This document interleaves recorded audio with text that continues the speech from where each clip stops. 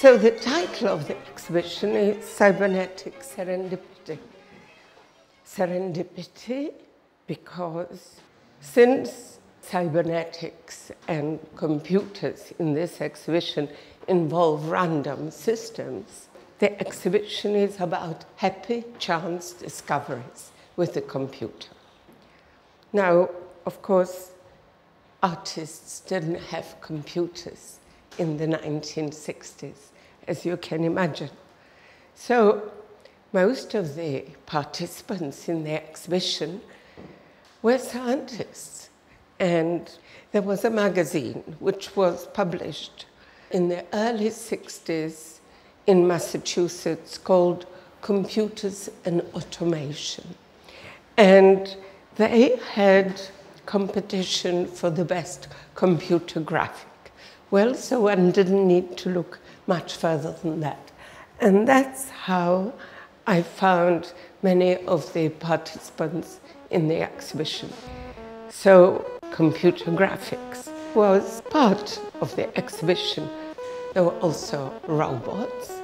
Most of these were made by artists like Nam June Paik, Bruce Lacey, and then there were also films composed with computers and music. There was enormous interest. As it says here, where in London could you take a hippie, a computer programmer, a 10-year-old schoolboy and guarantee that each would be perfectly happy for an hour without you having to lift a finger to entertain them. From today, there is just one such place, the Institute of Contemporary Arts. I want you to imagine 1968. It's difficult to imagine today. The reason why all these photographs are in black and white, none of us had cameras. Color film was something quite rare. If you also look at these invitations and look at the text, we didn't even have an electric typewriter. These texts were typed on a manual typewriter with a carbon ribbon, which gave it the text a very fine definition. This is an interesting piece of work. This was a flower type shape, and if you addressed it quietly, if you talked to it, hello, hello, it would respond. It would respond by turning round towards you. And children were very, very good at it.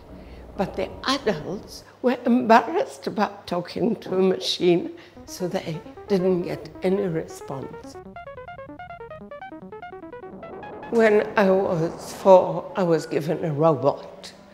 And my mother told me about a machine that would be available one day where you put in dirty clothes and the clothes come out clean and ironed. And I thought, I'm going to have such a machine. And I've always been interested in machines and robots. I would like to know what's next. I've been trying to think today if we wanted a departure from here and now, what would we have to do to have the same feeling that we had. People got very excited seeing that exhibition. It was a revelation.